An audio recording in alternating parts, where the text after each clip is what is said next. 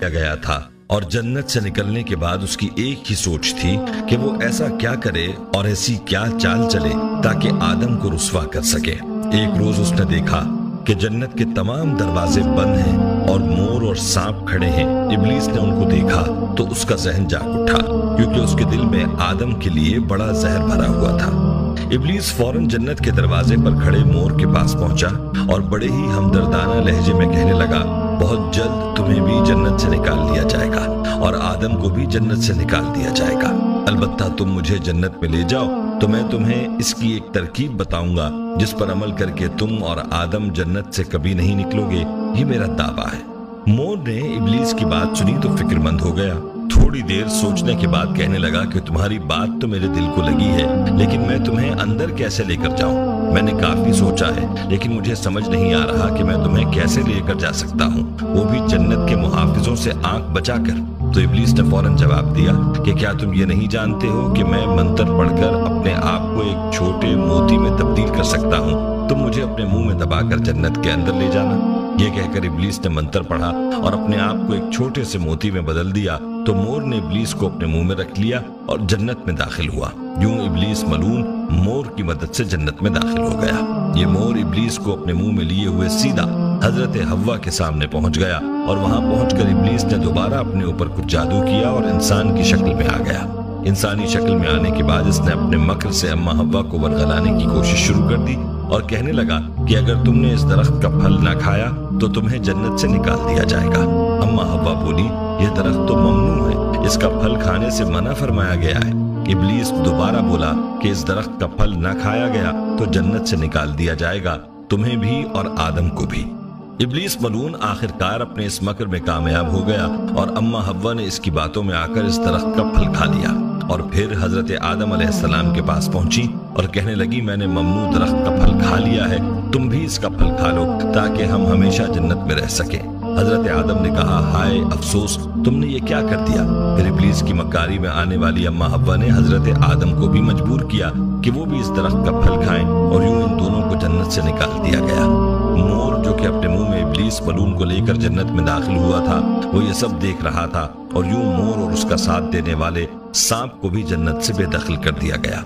यूँ हज़रत आदम, अम्मा हवा मोर और सांप आसमानों की जन्नत से उतरकर ज़मीन पर आ गए।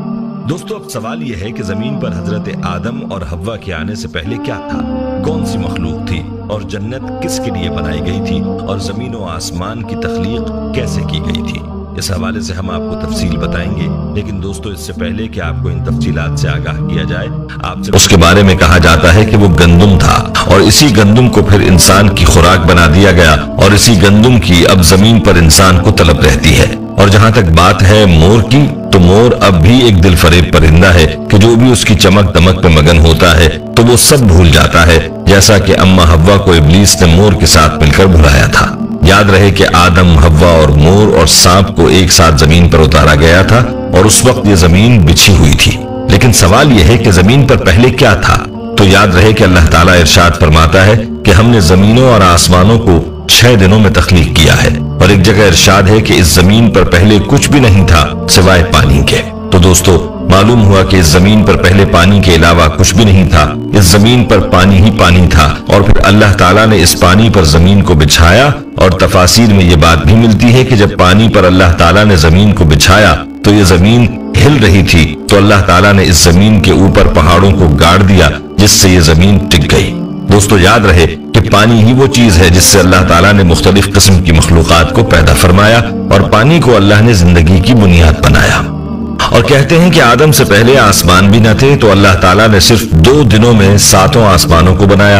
इन आसमानों की जगह पर धुआँ ही धुआँ था, कुछ न था, हर तरफ़ धुआँ था। और फिर अल्लाह ताला ने इस धुएँ से आसमान बनाए और सिर्फ़ दो दिन में अल्लाह ताला ने सात आसमान तखलीक फरमाए। और जब आसमान दुनिया अल्लाह ताला ने बनाया तो अल्लाह ताला फरमाता है कि हमने इसमें सितारों की मानिंद चिराग रोशन कर दिए यानी आसमान दुनिया में अल्लाह ताला ने सितारे पैदा फरमाए जो रात को चमकते हैं। याद रहे कि अल्लाह ताला ने चार दिनों में ज़मीन और इसका सारा निज़ाम बनाया। ये पहाड़, ये जंगल, दरिया और समंदर और सहरा और मैदान। ये सब अल्लाह ताला ने अपने हुक्म से सिर्फ़ चार दिनों में तखलीक किया और फिर अल्लाह ने आसमानों से बारिश बरसाई और अपने हुक्म से ज़मीन के ऊपर तरह तरह के दरख्त और पौधे और सब्जा उगा दिया।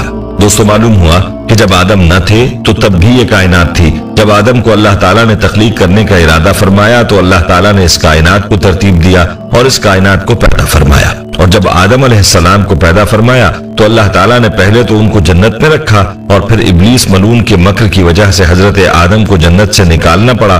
तो अल्लाह ताला ने उनको इस ज़मीन के ऊपर भेजा और यही अल्लाह की मंशा थी। यहाँ आपको ये बताते चलें कि रिवायात में ये बात मिलती है कि यमन से कुछ लोग हजूर अकदस सल्लल्लाहु वसल्लम की खिदमत में दीन सीखने के लिए हाजिर हुए तो उन्होंने ये सवाल किया कि ये कायनात कैसे पैदा हुई? तो आप सल्लल्लाहु अलैहि वसल्लम ने फरमाया कि जब ये कायनात मौजूद न थी तो तब अल्लाह की जात मौजूद थी और अल्लाह का अर्श पानी पर था। इसके बाद अल्लाह ताला ने आसमानों और जमीनों को पैदा फरमाया और लोहे महफूज में हर चीज़ को लिख दिया। दोस्तों, याद रहे कि अल्लाह की जात मौजूद थी, मौजूद है और मौजूद रहेगी। और तमाम जहानों को पैदा करने वाली जात अल्लाह ही की है। जमीनों को, आसमानों को पैदा करने वाली जात अल्लाह की है और जन्नत और दोजख को भी पैदा करने वाली जात अल्लाह ही की है। अल्लाह ताला की मखलूकत कहाँ कहाँ है और कैसी कैसी मखलूकत है, यह अल्लाह ही जानता है। अल्लाह ताला की कुदरत भी वसी है और अल्लाह ताला का इल्म भी वसी है और इंसान की अकल बहुत महदूद है। इंसान सिर्फ़ इतना ही जानता है जितना अल्लाह ने उसको इल्म दिया है और इससे ज़्यादा ये कुछ नहीं जानता। अल्लाह ताला बेहतर इल्म रखता है और हिकमतों वाला है।